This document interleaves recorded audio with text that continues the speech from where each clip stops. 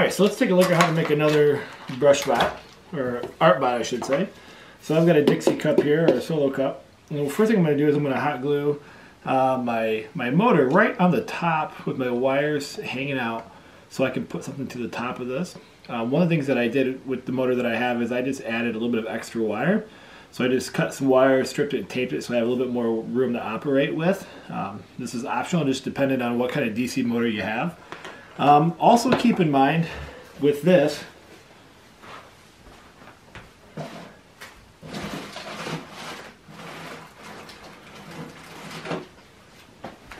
that you might want to use double-sided foam tape when you're experimenting first um, because the hot glue obviously works really well. And so if you need to make changes where in one of my prior ones I wanted to try to take this motor off and I end up ripping the motor and ruining the motor and these you know aren't cheap. So um, I always recommend using foam tape first double-sided and stick things make sure it works.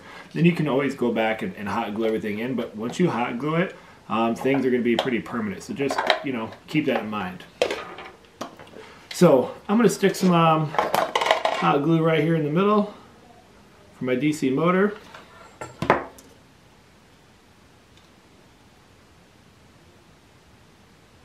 I'm going to set that in here just like so. So I've got that, let that dry. And then we're going to take two AA batteries and we're going to tape them together. So this is like a really like cheap man's version of a battery pack because I know not everybody has these AA battery packs. I mean, these are the really ideal, kind of like the previous um, art bot. You could just hot glue it to the side. But I realized these are hard to find. I know I went around our town, the Lowe's and Home Depot and Hobby Lobby and all those, and I could not find them. So I had to buy them in bulk online. But so if you don't have that, you can just take two AA batteries, put them together, and just tape them together. Make sure you test ahead of time before you glue these down. And so I just run a test and I know I'm in good shape. So you could do two things. You could use foam tape, run foam tape on the sides to hold the battery in. Um, so I'll do that for the sake of this video just so you can see the foam tape. Uh, normally I would just hot glue all these in, um, but I realize if you make a mistake, like I said, then you can ruin your stuff. So um, if I do the foam tape, and so I just got this double-sided foam tape here, and I just stick that on there. I can just stick these batteries right there, and they'll hold in pretty well. And I can just double check my connections again. Now if I had a rubber band, I would just rubber band these and hold this all in place. I have. So I'm just going to use some electrical tape to hold these in. So uh, if I just get two little strips here, I can stick this wire right on there just to hold it in place and this makes it really easy to kind of turn my robot on and off once I get going. And then over here I can tape this on and we're in good shape. So I'm just going to loosen that up there so that this doesn't run the whole time. Alright, once we have that, then we just need to get our, our legs in underneath. So I'm to grab some markers here. So I just bought some cheap markers from the dollar store. You can use markers you have just sitting around anywhere. Um, I'm just going to pick these three colors here, black, magenta, and red. You could tape these to the outside um, you could glue them to the inside like I did with this one. Um, however you want to do it, you could use rubber bands.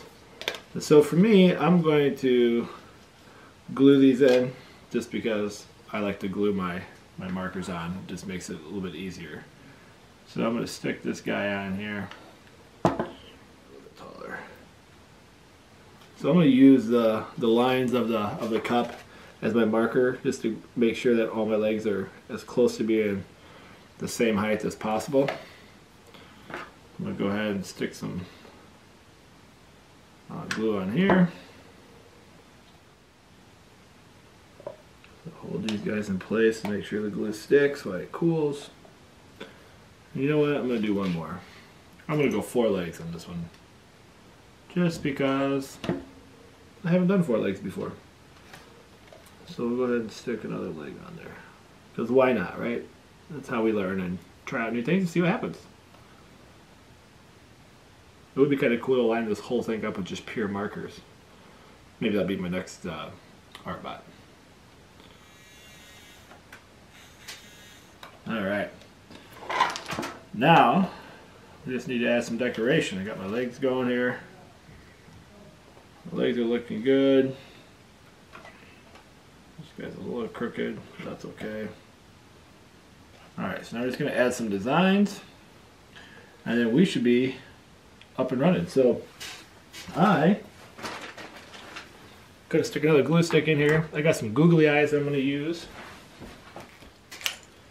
I got some blue googly eyes here I'm gonna stick on. There's one right here. Ah, looking good. We'll add some arms here. I got some pipe cleaner here. I'm going to give him a, just a big old arm here. Go ahead and lock this guy in with some glue.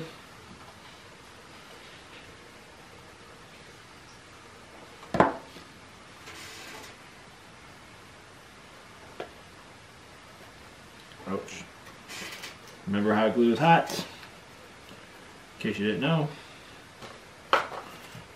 trim this one up a little bit. Alright, the last thing we want to do is just add something to the top. And so these guys need something like an off balance, which was what's going to make them move. So we need to add something up there. And so if you've got like a cork, you could put a cork up there and then glue on like a popsicle stick.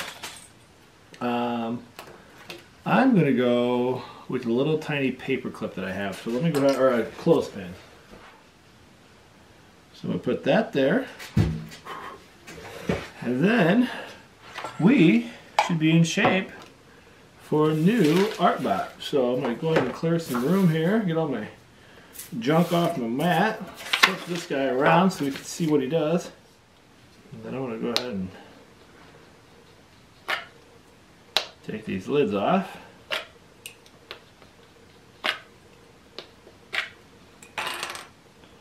I'm going to fire up the brain power here. Holy cow, we got power. And here we go. Let's see what happens. Woo!